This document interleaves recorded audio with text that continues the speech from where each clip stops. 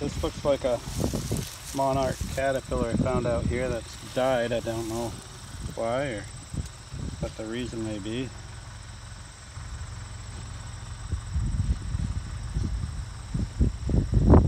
Feel free to comment if you might have a guess.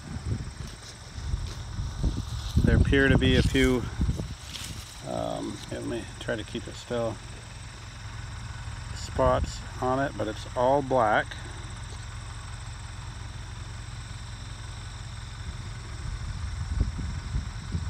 Huh.